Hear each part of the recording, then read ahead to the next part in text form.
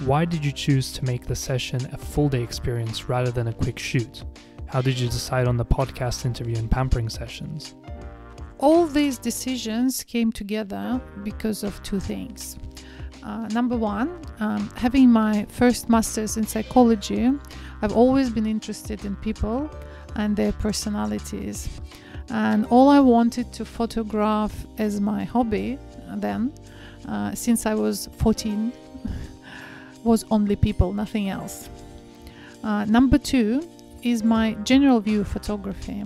I strongly believe that photography is great, is a great and very underestimated therapeutical and healing tool.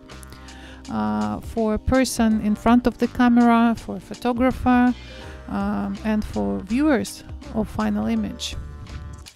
Uh, I also believe that camera never lies and brings out a personality better than anything else. Uh, but it's important to trust the photographer in the process. And I feel that building this trust is a mm, in a quick shoot is impossible. Um, I think it takes time to get there, and my role is to guide or assist um, the inner processes during the photo shoot and create a comfortable and very safe environment for that. And I also need time to discover the unique points of each woman and highlight them. The pampering session is a great start to relax, looking good, feeling good about yourself and the idea to add a podcast interview um, to the project came up logically from a desire to learn more about Australian women, uh, about their stories and their views on aging and body image.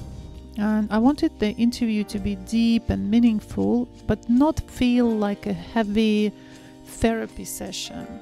Uh, I wanted it to be just a light, casual conversation any woman uh, has sitting in her uh, hairdresser chair or a beauty salon in a beauty salon.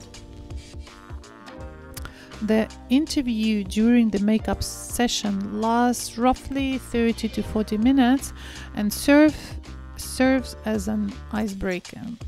And it also gives me a chance to get to know the person and understand the best way to photograph her, and bring up her individuality and style.